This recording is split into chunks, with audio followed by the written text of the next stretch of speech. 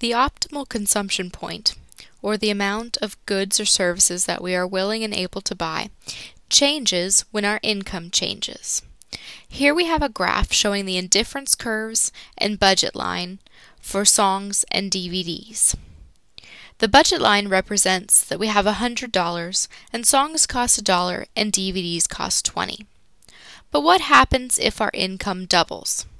So we're now making $200 we need to construct the new budget line. If we spend all of our $200 on songs, and songs cost a dollar a piece, then 200 divided by 1 is 200, and we are able to purchase 200 songs. If we spent all of our money on DVDs, and DVDs cost $20, then the number of DVDs we are able to afford is 200 divided by 20, which is equal to 10. We denote that point with a dot where it says 10 DVDs and 0 MP3s. Our budget line is constructed by connecting these two points. We then want to identify the new optimal consumption point, that is, how many songs and DVDs are we now willing and able to buy? To identify the optimal consumption point, we identify the point along the budget line that is just touched by the highest indifference curve that it can reach.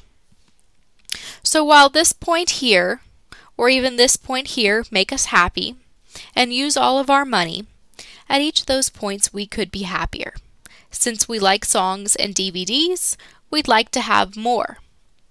The happiest we can be is at this point here. Okay. At 110 songs and four and a half DVDs. For the purposes of this discussion, we'll assume that we can have fractions of DVDs.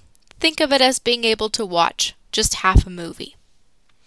That new optimal consumption point you see occurs at four and a half DVDs and 110 songs. We can also find the optimal consumption point when our income is cut in half.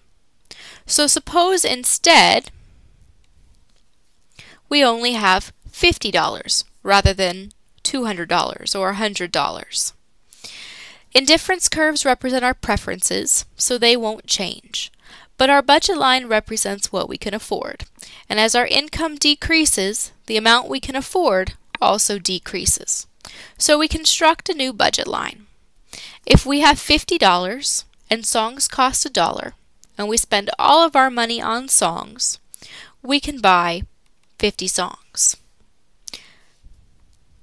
That number comes from taking 50 divided by 1 is equal to 50. If we spent all of our money on DVDs, and we have $50, DVDs cost $20, then the maximum we could afford if we spent all of our money on DVDs is two and a half DVDs. We represent this point by putting a dot at two and a half DVDs. The new budget line is constructed by drawing a line between these points. The new optimal consumption point is the point at which we touch the highest indifference curve possible from the budget line. Now, yes, again, it's true that you can't have two and a half DVDs. But even though you can't have two and a half DVDs, your budget line still needs to go to the actual number calculated that would be if you spent all your money on DVDs, and that's two and a half. The reason we draw our budget line to that point is because there are points along this budget line where there are whole numbers of DVDs and whole numbers of music. For example, for example, our optimal consumption point occurs at one DVD and 30 songs.